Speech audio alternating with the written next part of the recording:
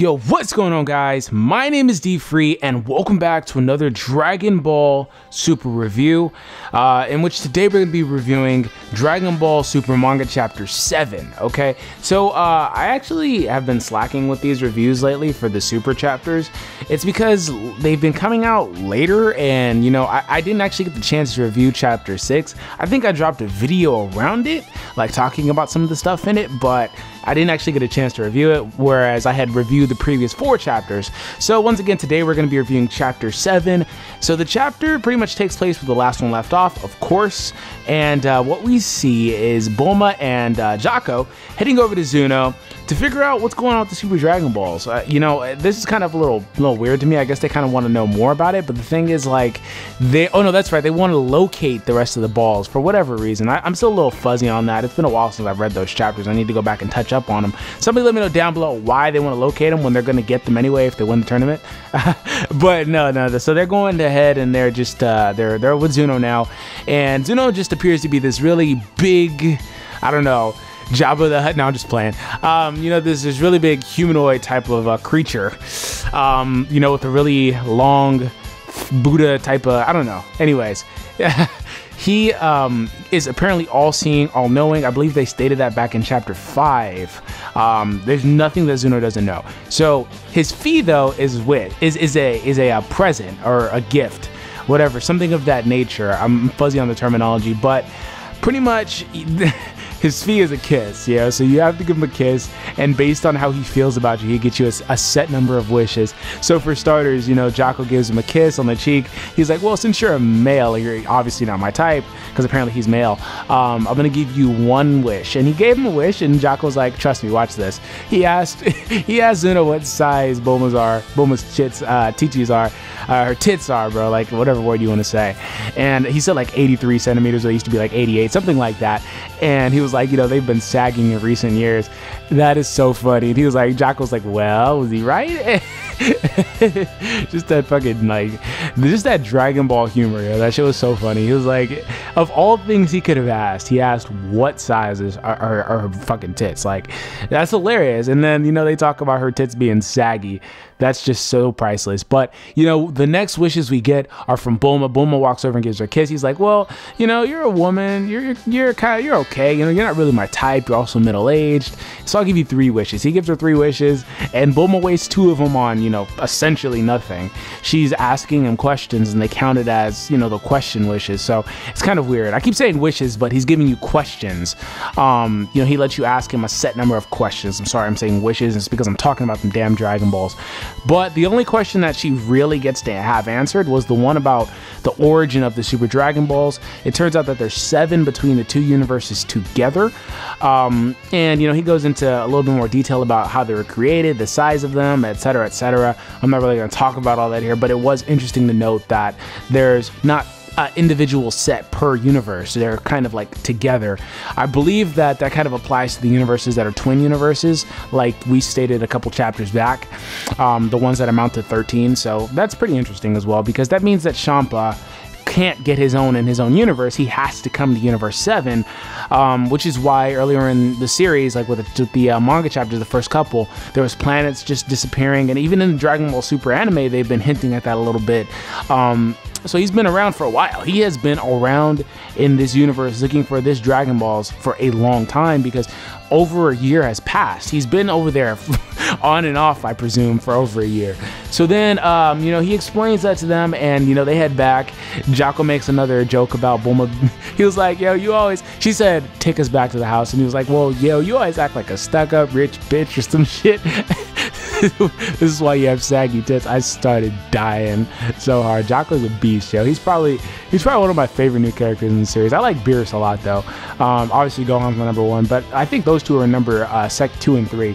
But we cut then to Goku and Vegeta on Kami's lookout or Dende's lookout. Well, Dende is Kami technically, so he is a. Anyways, I'm not gonna get into the fucking logistics of this shit, but you know they're in the hyperbolic time chamber somehow. Apparently, you know the door was destroyed in Buu Saga, and you know obviously the, the whole entire fucking lookout was destroyed. That's a whole nother thing in and of itself. The whole fucking lookout was destroyed.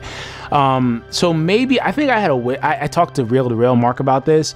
Um, but maybe when they make these wishes on Dragon Balls, it's really vague, but maybe they restore property back because it just seems hard for me to to fathom them rebuilding that fucking lookout. Like if, for example, when Super Buu shoots his human eradication beam or whatever the fuck it's called, you know, and it obviously destroyed every human except for uh, Mr. Satan did it just like you know burst through windows? Did it burst through buildings? Like so when they came back to life after the planet was destroyed would, did they just get restored back and you know have all these holes and destroyed shit? Or did it restore you know it's stuff that they don't really explain, but I am going to, in my own head canon, my useless fucking head canon, uh, shout out to Halcyon, I'm going to say that they pretty much do get brought back because it doesn't make sense to me. You know, I guess it makes a little sense because how the fuck did the lookout get there in the first place? Somebody built it, but it was just kind of weird because all those parts were up there and they were just in some sort of gravity and they're just staying up there. It's just hella weird. But apparently, you know, I argue with somebody. Well, somebody was arguing with me on Rhymestyle's video about this. Like, I was like, wow, they were in the chamber for three years. And somebody was like, oh, no, they weren't in the chamber. They, that room is destroyed. And I was like, well, mother, read the goddamn chapter. It's Don't argue with me about what they say. Obviously, it doesn't make sense unless they rebuilt the door, which means they'd have to rebuild the room. See, this shit makes no sense. but no. So they've been in there for three years. I'm getting back off topic, but they've been in there for three fucking years, uh, which is three days, of course, normal time. But what happens is they're in there just training and um, they're talking about you know whether or not the fighters that Champa is going to bring are going to be stronger. And Vegeta's like well of course they're going to be strong. Why would they not be strong? He saw us training and you know he felt confident enough to say hey let's have a tournament. So obviously they're going to be strong. Now the, the the caveat is that I believe they weren't even in Super Saiyan; they were in base. I don't even know if Champa knew how strong they really were because I believe he made a remark saying that they're not that impressive. So we don't know how this, is all really going to turn out. Um, so then they go back into their Super Saiyan forms and they pull out the old school fucking pose, you know, from the way back, the original fight between those two. And I was like, I was like, damn, yo, they're in Super Saiyan Blue now. This is epic, yo. And then they they cut back to um, space with Whis teleporting or transporting the whole entire squad to this uh, unnamed planet that they're going to be holding this tournament at.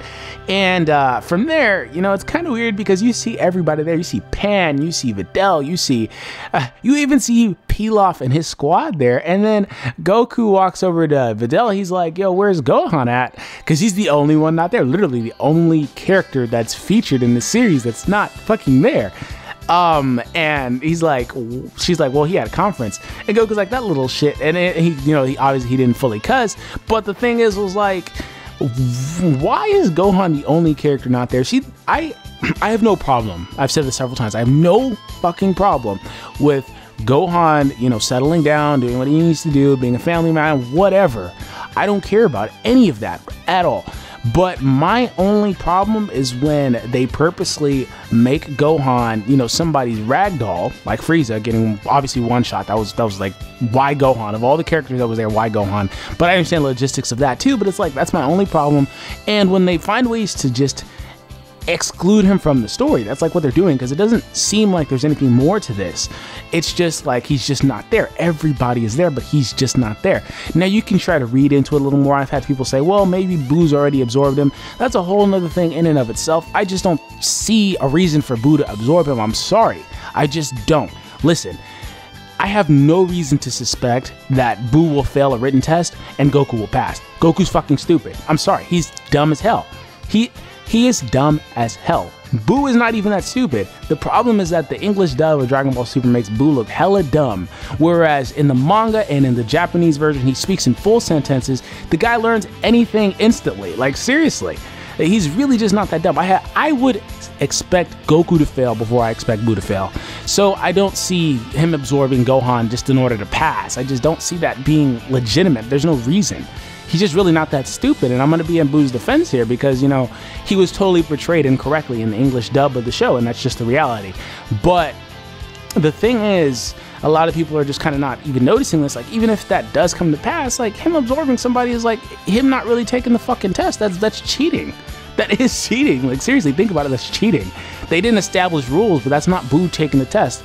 By that same vein, Gohan would have to fight because he's the one taking the fucking test. Well, granted, it's Buu taking the test with Gohan's smarts. So it's it's a loophole, but it's still technically cheating in and of itself. So like it's just weird. I don't know. But you know, from there, they arrive on the planet, and Beerus is like, yo, you've been in my fucking universe this whole time. And Champa's like, well, I didn't tell tell you because you didn't even know about the Dragon Ball. So that's interesting. Uh, how, I don't know how Champa found out about them or what the case is, or what his initial goal was for the Dragon Balls, because now he wants the planet, obviously, but what his initial fucking goal was, I really want to know that because it's eating away at me because they just left that aside. They left aside the fact that he's been in this universe for like a year prior to meeting with Beerus and having that whole food showdown and whatnot. So I really want to know what what uh, was driving Champa to be in this universe initially, and then from there, um, you know, they're starting the, the written test. Goku sees uh, Kibito and uh, the, what's called, the Supreme Kai separated. And he made a remark on it. They said, yeah, we have the Namek Dragon and Whis separate. That's all fine and dandy. He sees other Kais from Universe 6. And then from there, we get introduced to the Universe 6 squad. The Universe 6 squad is uh it's, it's very interesting. There's a guy that looks like a fucking bear. There's a guy that looks like Ratchet and Clank. There's uh there's um it's the oh fuck I totally I'm all the way here. I totally didn't make a remark on the fucking great Pona. Ponta. the pointer, yo, uh, their their final member of, of Goku's squad, pretty much. The dude, I call him Nipple Man, yo. He looks like fucking Tarbell's wife. I swear to God, I just call him Nipple Man. But apparently, he's the strongest person Beerus has ever fought. Now that's kind of subjective now because we don't know how much stronger Goku is now at this point. So it's kind of subjective. He may still be stronger than Goku, but I really just don't know because that was stated back when Goku only had Super Saiyan God. Obviously, Super Saiyan God, Super Saiyan is stronger. It's always been stronger, but even with three years of training, it's definitely strong. You can't you can't you can't even make an argument. Three years of training, like come on now, shut up. But but like come on now. Um, so from there Obviously, I'm I'm just getting away from the, the nipple man, but we see their squad. There's there's a clank guy, a big ass robot guy. Um, there is a bear. There is um, a Frieza clan guy. Um, they make a remark on him and they call him Frieza, and I was like, whoa, that guy looks really familiar. Uh, there's also a guy that looks like he could be from uh, Mira's race. Well, Mira's not really a race, if I remember correctly. He was created by uh, Towa. Um, so that's interesting. But there's also one more fucking guy I'm spacing on. Oh, the Saiyan guy. Um, so it's really weird. Like, you know, he, Champa did say he wanted Saiyan, so he did get a Saiyan. So we'll see how all this turns out. Let me know you guys' thoughts on the chapter. Honestly, I'm probably just reading a little too deep into it. I, I, probably am. I do that sometimes. It's just my analytical mind. Sometimes I just can't turn it off. But let me know you guys' thoughts on the chapter as a whole. I know I've been going for a while now, honestly. I had a lot of shit to say. But that is it for me, guys. Peace out.